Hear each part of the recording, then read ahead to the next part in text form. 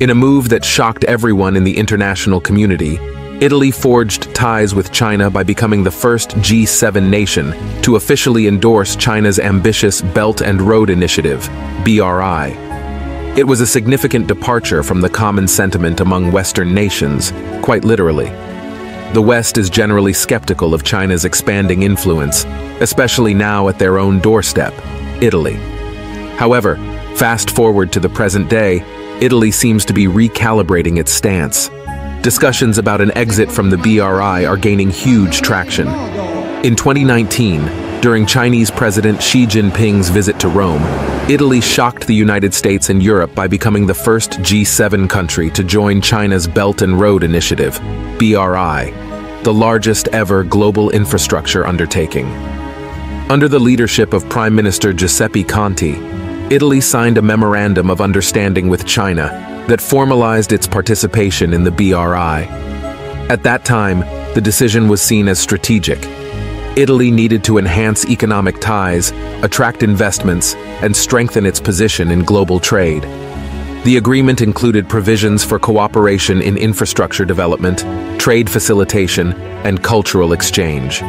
As expected, the initial enthusiasm, however, elicited a mixed reaction both domestically and internationally. Supporters of the cause saw economic gains in Italy partnering with China's infrastructure projects, while critics warned of geopolitical risks in aligning too closely with Beijing.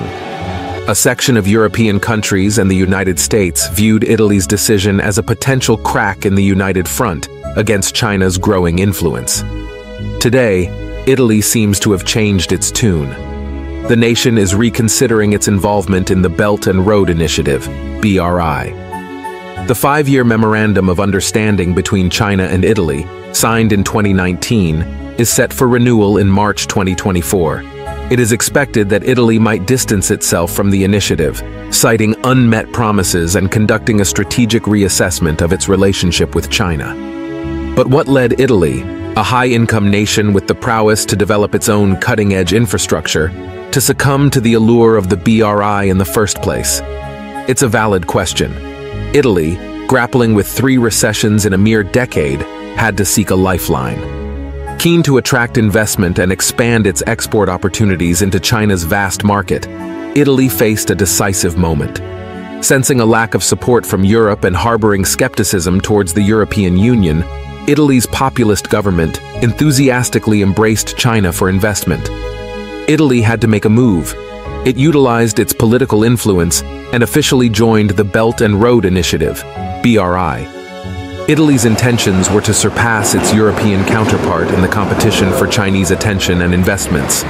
And that's where President Xi saw an opportunity. Xi's courtship of Italy was strategic, aiming to anchor the Belt and Road Initiative to the historical Silk Road glory, painting a picture of Chinese prosperity and influence. Italy, with its crucial Silk Road connection, and the largest Chinese population in Europe, became a pawn in Xi's game to amplify China's sway in the continent. The ties ran deep, encompassing trade linkages in fabrics and leather goods. However, many European leaders perceived the BRI as a potential wedge in the European Union that would create divisions between Washington and Brussels, with Italy as a vulnerable target. As the alleged harsh reality of the Belt and Road Initiative's unfulfilled promises set in, Italian Prime Minister Giorgia Meloni has boldly declared that joining the BRI was a big mistake and insists that this misstep could be rectified by a swift withdrawal from the initiative. She highlighted the glaring lack of benefits accruing to Italy, emphasizing, Italy is the only G7 member that signed up to the Silk Road, but it is not the European or Western country with the strongest economic relations and trade flows with China. To make matters worse, Italian Defense Minister Guido Crosetto labeled Italy's decision to join the BRI as an improvised and atrocious act. However, this departure from the norm raised eyebrows. Defense ministers on most occasions typically steer clear of economic critiques. The BRI, a regional economic cooperation framework, clearly doesn't fall within the purview of national defense. Crosetto's critique seemed out of place, prompting questions about the appropriateness of his stance. Examining Crosetto's statements, it becomes evident that they clash with the facts. While he claimed the BRI disproportionately boosted China's exports to Italy, the figures tell a different story. Over four years, bilateral trade between China and Italy has soared by nearly 42%, reaching nearly $78 billion last year. Italy's exports to China increased by 42% from 2019 to 2021, with a significant 58% surge in the first five months of the current year. These statistics undeniably contradict Crosetto's narrative and reflect the substantial impact of the BRI. Yet this seeming inconsistency isn't peculiar in today's political scene in America and Europe. In the recent past, we have severally seen security and defense officials adopting a more radical stance when it comes to economic cooperation with China. Curiously, those in charge of the economy typically incline toward a more moderate tone.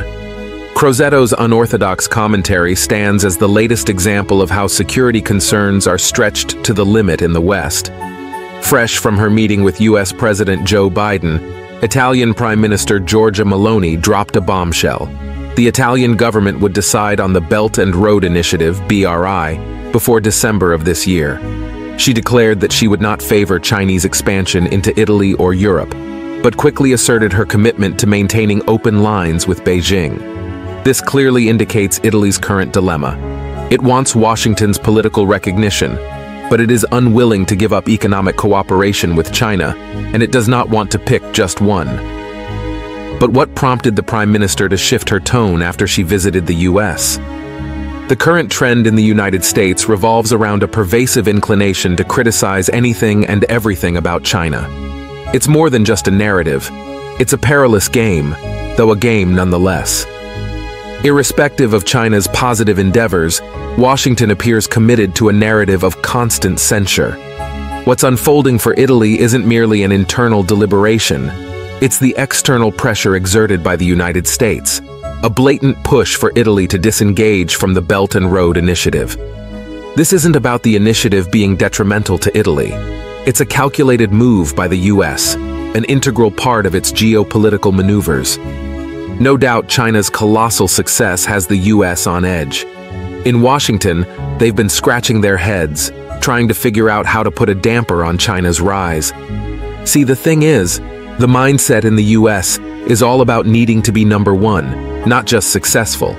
And let's face it, grabbing that top position becomes quite a challenge, especially when China is already a successful nation. In this elaborate scenario, it becomes apparent why China's trade is experiencing a slowdown. The United States is strategically erecting barriers, not only within its borders, but also actively encouraging Europe to follow suit. The current challenging situation faced by Italy seems to have a clear culprit. Ever since Italy decided to join the BRI in 2019, the United States has applied considerable pressure, almost branding Italy as a traitor of the West.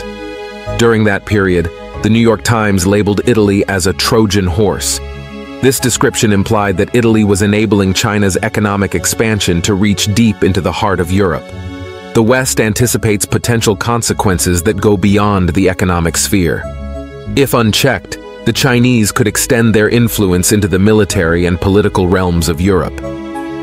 Following a change in the Italian government, Washington seized the opportunity to escalate its pressure tactics. In the lead-up to Meloni's visit to the U.S., John Kirby, the Director of Strategic Communications for the National Security Council at the time, took a trip to Italy. His purpose was to educate the leadership of Italy about what he perceived as the lack of rewards tied to economic partnerships with China.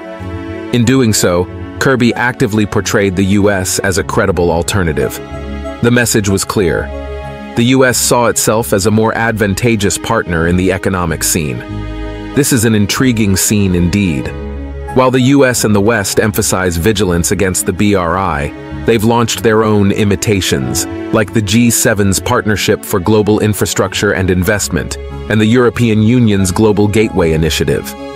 This dual approach of learning from and imitating the BRI while simultaneously suppressing and smearing it underscores the BRI's long-term vision and alignment with the prevailing global trend.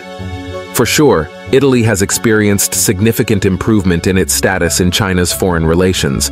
However, The decision to join the BRI has become complex when mixed with geopolitics and US pressure. The hope is for Italy to make a rational decision independently, testing its political wisdom and diplomatic autonomy. In light of these considerations, China is not sitting idly. The Chinese government recognizes the strategic importance of Italy within the EU and is actively working to address concerns and keep Italy within the BRI fold. Efforts include diplomatic engagements, economic incentives, and reassurances about the mutual benefits of continued collaboration.